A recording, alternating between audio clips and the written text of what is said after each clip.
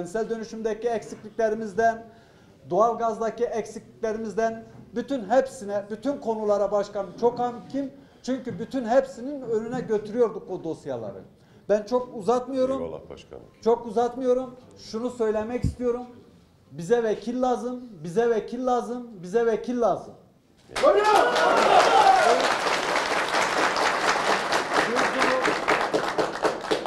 köylerimizle birlikte ilçemiz için istiyoruz. Hizmet için istiyoruz. Başka da bir amaç için istemiyoruz. Ben hepinize çok teşekkür ediyorum. Sözü sahibine bırakıyorum. Sivrice'de her gelişimizde, her mücadelemizde yükümüze omuz veren, yolumuza yoldaş olan Sivrice'nin baba yiğitleri, abilerim, kardeşlerim, hepiniz hoş geldiniz, şeref verdiniz. Allah Ben hakikaten çocuk yaşlardan itibaren Sivrice benim için çok kıymetli bir yer. Tabii ki Elazığ'ın bütünü için Sivrice bir pırlanta niteliğinde. Bugüne kadar değerini bulamamış olsa da, bugüne kadar hak ettiği yere gelememiş olsa da Sivrice bir misafirimiz geldiği zaman, dışarıdan birisi geldiği zaman sığındığımız bir iki noktadan birisiydi.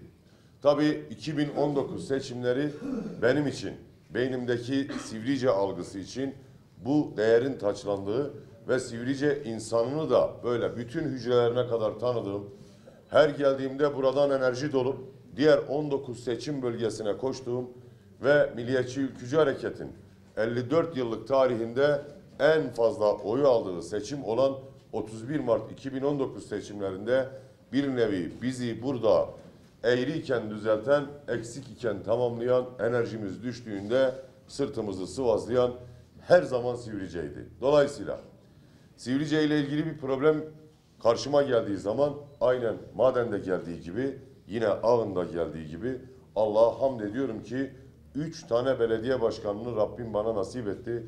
Bugüne kadar bir kere bile kendi şahıslarıyla ilgili, haneleriyle ilgili, çocuklarıyla ilgili, gelecek kaygılarıyla ilgili. Sivrice obası, bozkurtların yuvası. Sivrice obası.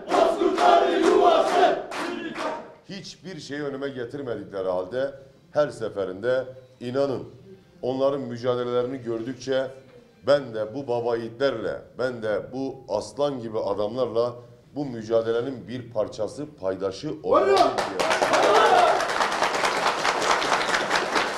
Aynı yolu koştuğum ve aynı yolda mücadele etmekten iftihar ettiğim üç belediye başkanından ikisi şu an yanımdalar.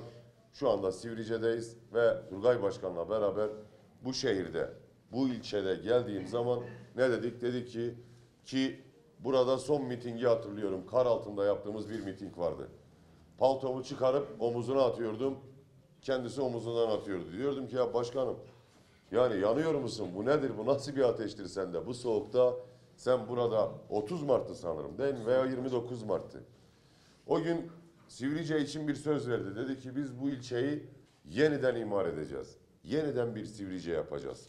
İnanın o kadar bürokratik engellerle karşılaştık ki, o kadar sütatiko bizi engellemeye çalıştı ki, bakın bugün burada bu gördüğünüz hizmetlerin yapımında inanın başka bir belediye, iktidara mensup başka bir belediyenin harcadığı enerjinin en az 50 katını ki iki belediye başkanım da buradalar. 50 katını harcayarak buraya getirdik. Ve şunu söylüyorum. Her seferinde bir duvara tosladık. Neydi? Bir milletvekilimiz yoktu Türkiye Büyük Millet Meclisi'nde. Eğer bir milletvekilimiz olmuş olsaydı biz belki de bu hizmetin hepsini tamamlamıştık. Şu anda spesifik, çok özel projelerin peşindeydik. Sivrice'yi turizm alanında bölgenin yıldızı haline getirmek için daha vaatlerimizin arasında olmayan çok ekstrem işleri belki de gerçekleştirmiştik, bitirmiştik ama şükür ki yolun sonuna geldik. Şükür ki bu mücadeleyi taşlandıracağımız, bu sahipsizliğe son vereceğimiz. Hani bütün konuşmalarımda ifade ediyorum ya, bu şehirde 200 bin insan var, bu 200 bin insanın bir devlet dairesinde sahibi yok.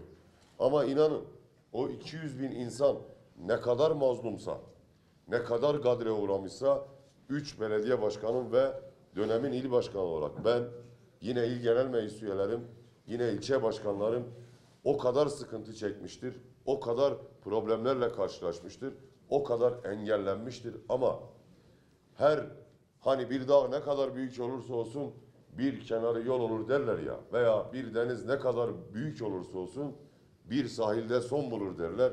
Bizim için bu sahipsizliğin bittiği, bu çaresizliğin yani şükür elhamdülillah tamamen bir çaresizlik ama sistem içerisinde başkaları onlarca farklı çözüm metodu geliştirebilirken bizler sadece birbirimize sarılarak, sadece beraber omuz omuza Allah'a yaslanarak bu ilçelere nasıl hizmet getiririz onun gailesi içerisinde olmuş kardeşleriniz olarak. Bu zulmün, bu yalnızlığın, bu sahipsizliğin, o 200 bin dezavantajlı kesimlerde yaşayan o kardeşlerimizin nasıl ki sahibi olacaksak Allah'a andolsun ki bu 5 sene boyunca bütün hücrelerimde hissettiğim bu yalnızlığa son vermek de benim boynumun borcu olsun.